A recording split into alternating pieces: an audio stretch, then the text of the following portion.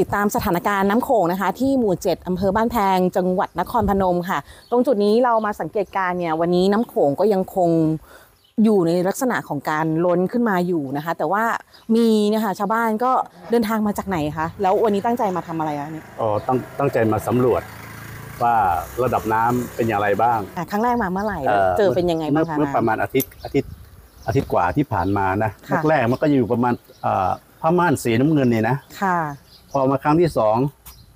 สแลนสีเขียวนะครับ ค่ะ พอมาตอนนี้มันก็ระระดับนี้แล้วล่ะครับอืมพอถึงระดับนี้แล้วก็มามาถึงระดับนี้ค่ะแต่วันนี้ผมก็รู้สึกว่ามันยังทรงอยู่นะค่ะนะครับ ยังทรงอยู่ ซึ่งมีความกังวลว่าอีกไม่กี่วันข้างหน้าเนี่ย คิดว่าคงคงจะ ระดับน้ำก็อาจจะมีเพิ่มขึ้น ติดตามข้อมูลข่าวสารยังไงเรื่องการแจ้งเตือนภัยคะเอ่อมีช่องทางไหนยังไงบ้างคะก็ดูในทีวีอ่านะดูติดตามทีทีวีวีบ้างค่ะดูค่ะดูในทิกตอกบ้างอ่าติ๊กนะต็ฮะอกโซเชียลนะคะใช่คิคิดดว่าว่าจากหมู่สามมาถึงปั่นจักรยานนี่คือมาแบบครับถึงหมู่เจ็ดนะคะ คิดว่าคงจะต้องทุกวันนะฮะค่ะระยะนี้คงจะต้องทุกวันยิ่งอืมยิ่งบอกว่าอีกสองวันเนี่ยน้ำระดับน้ำก็จะเพิ่มสูงขึ้นอ้าวเราต้องมาราคาวนี้ว่าค่ะมันเป็นอย่างไรอืมนะครับ ก็มีความเป็นห่วงอยู่นะ อีกหนึ่งท่านนะคะ ก็คือพี่คนนี้ละค่ะที่อยู่หมู่เจ็ดครับ เมื่อสักครู่เห็นขับเรือหางยาวออกมาครับเลยครัค่ะบมาตรงบ้านนี่คือยังไงบ้างสถานการณ์น้ำคะตอนวันนี้ก็ลดลดไม่เยอะครับ ค่ะ ประมาณสักห้าเซนได้มั้งท่วมมาตั้งแต่อะไรยังไงเมื่อไหร่คะต่อท่วมมาตั้งแต่วันวันที่สิบสิบสองมั้งน่าจะค่ะสิบสองสองวันสองวันอ่าขึ้นเยอะด้วยสองวันแล้วก็อืดท ยอยขึ้น แล้วก็ตึ้มตึ้มค่ะอย่างเงี้ยน้ำมาจากทางทิศทางไหนยังไงคะที่ส่วนมากทางเหนือครับ แล้วก็ฝั่งลาวด้วย อ๋อฝั่งลาวมาครับ ฝั่งตรงข้ามนี่เป็นเมืองอะไรคะเอ่อบุรีคำไซครับ บุรีคำไซครับนะคะ ซึ่ง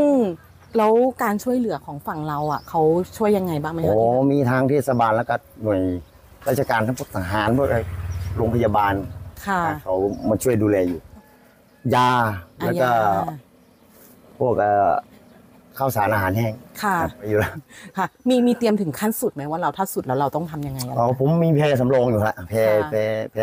ถ้ายังไงยังไงขนขึ้นแพรเลย คนขึ้นแพก่อนเลยเออจบทีเดียวเลยไม่ต้องไปโยกย้ายอีก อยู่คนเดียวของไม่เยอะ ครับ ก็ปกติก็ลูกเมียแล้วก็ไม่ให้อยู่ค่ะแล้วกลับบ้านก่อนกลัวเด็กมันตกน้ำอ๋อคือแบบย้ายครับ อพยพครอบครัวไปก่อนใช่ไหมครับครับ อืมก็ไปอยู่ที่ไหนกันคะอยู่บ้านนาประชัยนะฮะแล้วเราไปอยู่ที่นครพนมอยู่ไหมคะหอครับว่า อยู่นครพนมครับ ค่ะ ก็ห่างกันนี่ประมาณ20 25โลบ้านแต่ก็แฟนถือนะว่าโอ้โหต้องจัดการชีวิตตัวเองเหมือนกันเนาะ ครับครับก็ไม่เท่าไหร่หรอกครับเรื่องค่ะกินเรื่องอยู่ก็ไม่เท่าไหร่ค่ะ โอเคสู้ๆเป็นกำลังใจให้นะครัคะบครับโอเคขอบคุณค่ะไปทานข้าวกันต่อได้นะคคะรับขอบคุณครับค่ะครับครับนี่แหละค่ะก็เป็นอีกหนึ่งคนนะคะที่อยู่ในพื้นที่ที่เจอจุดน้ำท่วม แล้วก็ผลกระทบจากน้ำโขงนะคะ แล้วก็ตอนนี้คงต้องติดตามสถานการณ์กันด้วยนะคะคุณผู้ชม ทุกคนยังคงต้องติดตามข้อมูลกันอย่างใกล้ชิดนะคะ เพราะว่าสถานการณ์ความเคลื่อนไหวต่างๆเนี่ยก็เรียกว่าคนอยู่กับน้ำเนี่ยก็จะเห็นหน้างานครับอยู่หน้าบ้านตัวเองคือน้ำมันเห็นระดับแน่นอนนะคะ แต่ว่าหลาย ๆ คนที่ยังมีความสุ่มเสี่ยงอยู่ก็อย่าลืมติดตามสถานการณ์ข้อมูลข่าวสารกันอย่างใกล้ชิดค่ะ